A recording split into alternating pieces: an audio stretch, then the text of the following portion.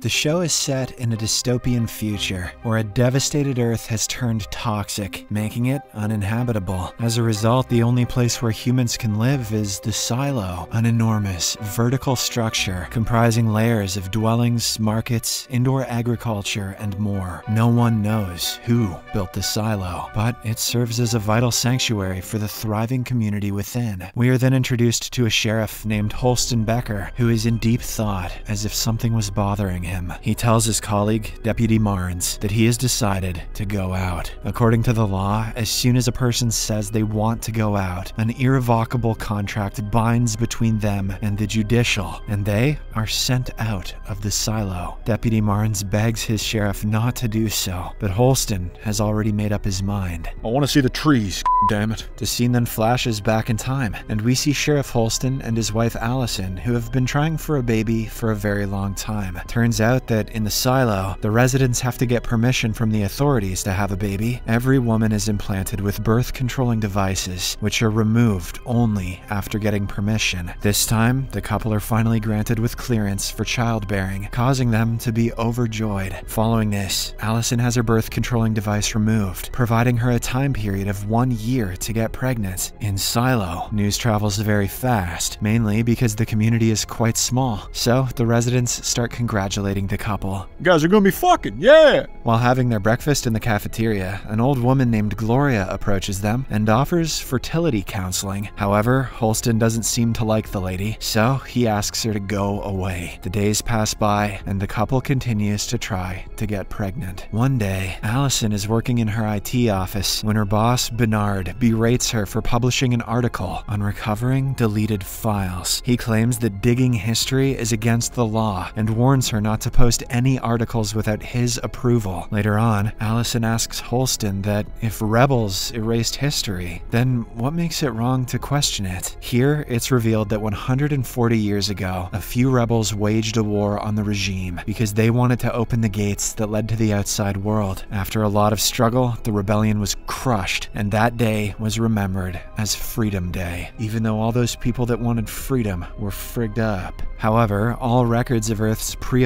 apocalyptic history were destroyed during the rebellion. Contrary to her husband, Allison harbors a belief that there is life outside the silo, and it's only their fear that is stopping them from exploring the mysteries of the world. The scene then fast forwards to 200 days later, and the couple are still trying to have a baby. They make out numerous times, even in Holston's office desk, but they don't get any results. Maybe they have to do more than just kiss. On Freedom Day, Silo's mayor, Ruth Jahns, gives a speech to the residents, reminiscing about the day when they took down the rebels. In the meantime, Allison is assigned to go to the base layer of Silo to help an IT guy named George in his work. Once there, George expresses that he's a huge fan of her work and that he made up a work excuse to meet her in private. He then shows her an old hard drive, a relic as per the judicial. He claims that the drive's memory is almost full, but he's unable to find any content inside it. Hearing this, Allison realizes that the drive must be encrypted and that it needs a password. After a lot of trial and error, she is finally able to crack it open, revealing all of its contents. Several videos, images, as well as the silo's blueprints. This leaves her anxious because they can be expelled if the judicial finds out. Scared, she tells him to get rid of the disc immediately before leaving the scene. Despite her warning, George continues exploring the blueprint of the silo and learns about a secret tunnel at the bottom level. Later, Allison returns home, but she's unable to stop thinking about the relic. As a result, she takes a day off from work and revisits George secretly. Together, they go through the disk's files, uncovering a lot of secrets, including manipulation related to birth control devices. The last file leaves them utterly flabbergasted as they see footage of a vibrant earth, green trees, blue skies, and things flying in the air. These revelations raise suspicions about Allison's fertility issues, so she later visits Gloria to seek some answers. Gloria contends that the judicial doesn't want a woman like her to have babies. Much to her shock, the lady reveals that though the doctors claim to have removed the contraceptive implant, it's still inside her body. The following day, Holston awaits Allison at the hospital for a doctor's appointment. After waiting for quite some time, he returns home, only to find her in a bloodied state. She reveals to him that the doctor had never taken out the implant from her body. To prove her claims, she has pierced her body and taken out the implanted device by herself. She also tells him that she can't disclose her sources, but the authorities are the ones preventing them from having a baby. Furthermore, she tries to explain that the view they see from Silo's windows aren't real, but some kind of computer generated image. However, Holston, who is worried by her disoriented state, prioritizes her safety and rushes to summon the doctor. While he is out, Allison heads to the cafeteria, where she catches people's attention and tries to explain how they are being deceived by those in power. She insists that a beautiful world exists beyond Silo, but access is denied to everyone. Unfortunately, her attempts are met with skepticism, and people start thinking that she's gone crazy due to not being able to have a baby. Shortly after, Holston arrives to calm her down, but she unexpectedly declares that she wants to go out. This leaves him completely stunned, and he has no words to say. Following this, Deputy Marnes cuffs her and takes her to the holding facility. Her wish, which is no less than a crime inside the silo, is set to be fulfilled soon. Later that night, Holston goes to talk to his wife in her cell. She once again tries to convince him that the screens only show what the authorities want people to see. Holston is still not ready to believe in her claims, but he can do nothing now. Afterwards, she's dressed up in a hazmat suit, while Holston watches her helplessly. He then reads the oath to her, with tears in his eyes, before the two depart. As she walks out into the wasteland, people watch her via large screens in the cafeteria. After walking a short distance from Silo, she collapses to the ground, presumably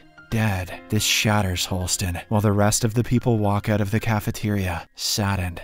Two years later, Holston is in his office when Deputy Marnes walks in with the news of George's death. He further informs him about an engineer named Juliet, who claims that it is not an accident or a self kill, but a murder. Stunned, Holston descends to the bottom layer to meet the engineer, who is currently working in the generator room, and she looks like a complete baddie down there. The scene then shifts back to the present, depicting Holston, who is now placed in the holding facility after announcing his decision to go out. The next day, he is dressed with the hazmat suit, and the mayor reads the oath to him before sending him out. Like earlier, everyone, along with Juliet, watches him from the cafeteria. The moment he steps out, he is greeted by a clear blue sky, by lush greenery, and by birds in the air, confirming his wife's assertions. It suddenly strikes him that the residents must witness this, so he walks to the camera transmitting the footage to all the screens and cleans the lens. Despite this, the residents see the same imagery, a ruined world. Holston then starts walking towards Allison's lifeless body. As he approaches her, the toxic environment overwhelms him, causing him to collapse beside her. Juliet, for some reason, stomps out of the cafeteria in a fit of rage and screams at the top of her voice, saying that the sheriff lied to her. In the aftermath, Deputy Marnes sits in his cabin and opens a note left to him by Holston. In it, Holston has nominated Juliet as the next sheriff. Later on, Marnes visits the mayor and asks if she has decided whom she will appoint as the new sheriff, but she says no. She then expresses her fear for instability among the people, especially now that there is no sheriff. Meanwhile, Juliet goes to Martha, an old lady who runs a repair workshop. Being the only person whom she can trust, Juliet decides to share everything that's troubling her. As she proceeds, the scene flashes back to a couple of years earlier when George was still alive. Here, it's revealed that the two were in a romantic relationship, but nobody knew about it. On a particular day, after work, she went to George's room to see him, but he was nowhere to be found. On his table, she discovered a tiny toy like object with a note. Later on, she learnt from one of her peers that George committed the unthinkable. Shocked, she went to a cop named Hank and claimed the incident as murder because George would never take such a step. Hank relayed the information to Holston, who then came to meet her in the generator room, continuing the earlier scene. And she still looks like a complete baddie down there. After inquiring some general questions, Holston takes her to the cafeteria to talk to her in private. Juliet is initially hesitant to share the secrets since she fears that he will take legal action. As a result, she makes him promise that he'll see and listen to everything with an open mind. When Holston agrees, agrees, she takes him to her place and shows him the toy like object. She also hands him a note left by George, but she has torn and hidden the half of it for some reason. In the first half of the note, George has mentioned a secret location in the silo. Following this, Juliet leads Holston to Silo's basement that contains a secret tunnel. They venture deeper via a set of ladders that eventually leads them to a vast chamber that she used to visit with George. Holston is astounded by the existence of such a space within Silo.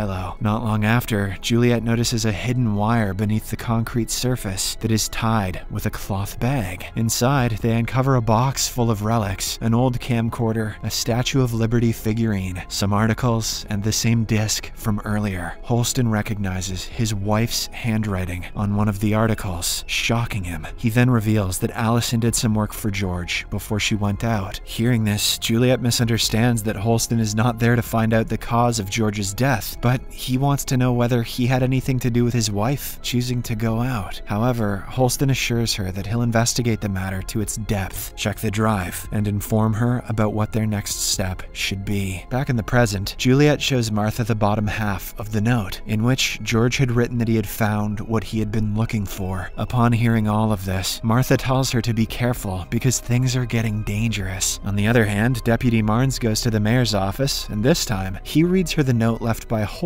Mayor Ruth has no idea why Holston wanted Juliet, so she decides to meet her in person. She sounds like a baddie, she says. Later, Juliet revisits the secret chamber, where she reminisces about the quality time she spent with George there. She also recalls his mention of a door at the very end of the chasm. Juliet looks down from a height, but she can see nothing but water. Despite being hydrophobic, she makes a brave decision to go down and find the so called secret door. She then takes a rope and starts descending as she nears the water. Her fear overwhelms her, prompting her to climb back up. As a result of this, she is so disappointed in herself that she resorts to drinking. The following morning, she awakens with a terrible hangover. Soon after, her surroundings start to tremble, signaling an issue in the generator room. Upon rushing there, she finds a junior worker named Cooper trying to figure out the problem. Juliet, who is still frustrated, punches him right in the stupid face, ordering him to back off. Though the problem is temporarily solved, the head of the mechanical division, Knox, who is watching all of this from a distance, isn't happy. He summons her to his office and warns her against showing such behavior at work. However, Juliet turns his attention to a critical problem they're facing with the generator. She asserts that the rotor is breaking down, so they need to turn off the generator and fix it to avoid a catastrophe. However, Knox refuses, citing that the people will panic if the silo goes dark, even for an hour. In the meantime, the mayor and Deputy Marnes head to gather information about Juliet from those who know her. At first, they go to the IT division and meet Bernard, who has intel and statistics about each and every individual living in the silo. When the mayor asks about Juliet, Bernard addresses her as a thief who stole tape from IT and isn't trustworthy. Next, they approach her father, Dr. Pete Nichols, responsible for newborns in the silo. They ask why Juliet, despite being the child of a doctor, ended up in the mechanical department. Pete gives them the most logical explanation. Juliet was always fascinated by machines, and fixing things gave her a lot of satisfaction. She was just 13 years old when she left him, and it's been quite a while since he spoke to his daughter. Following this, the mayor goes to her old friend Martha and inquires about Juliet. However, the latter opts not to share much information with her. A short while later, the surroundings start to tremble as the generator appears to be malfunctioning once again. Workers rush to the room while Ruth and Marnes arrive at Knox's office. Minutes later, Juliet also shows up and tries to understand the problem by reading the generator's vibration pattern. She then enters the hatch and somehow manages to avert a potential disaster. In the aftermath, the mayor finally meets Juliet and tells her that she has been chosen to be the new sheriff by Holston.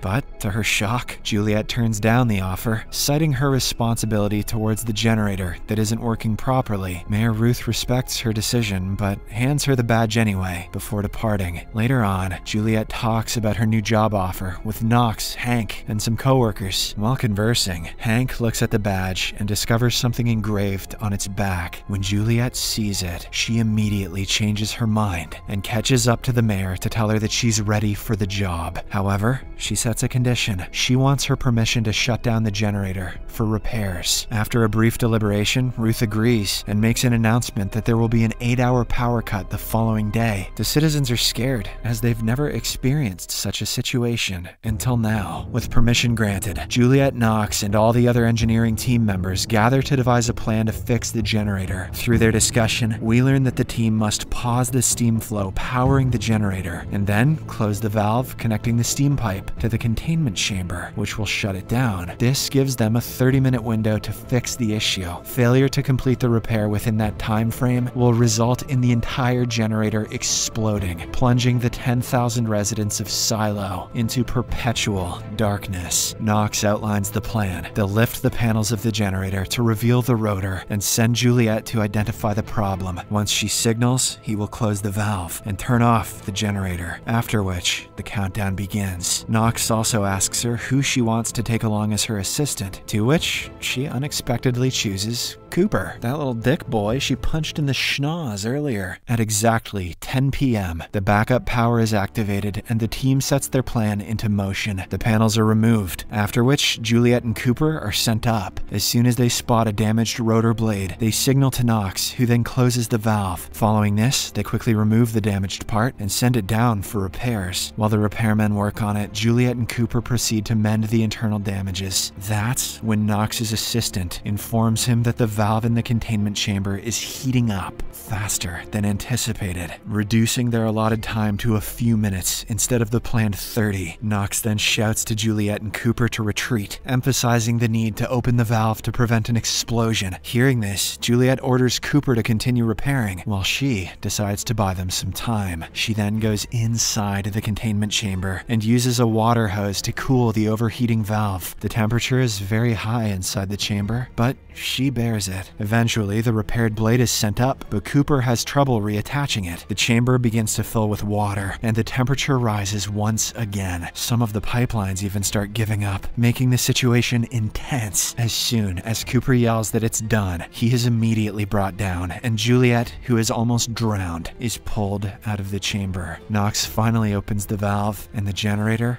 is turned on. Soon after, the silo powers up, bringing great joy and relief to everyone. The next day, Juliet packs up her belongings to move to the upper level in order to assume the role of sheriff. Before departing, she pays one last visit to Martha and thanks her for everything. As she makes her way upstairs, she looks at the engraving at the back of Holston's badge that reads, Truth. Meanwhile, Bernard, who surprisingly knows of Juliet's new role as sheriff, approaches the mayor and again warns her about the consequences. However, Ruth dismisses his concern and walks away. Later on, the mayor is seen signing the document officially appointing Juliet as the next sheriff. Suddenly, she feels uneasy, so she rushes to the restroom. Moments after she enters, Marnes hears a heavy thud from inside. Worried, he calls out to her, but doesn't receive any response. Sensing the urgency of the situation, he breaks into the restroom and finds her on the floor, choking on her own blood. Subscribe for more videos like this, turn on notifications, and leave a like to help the channel out. Thank you for watching.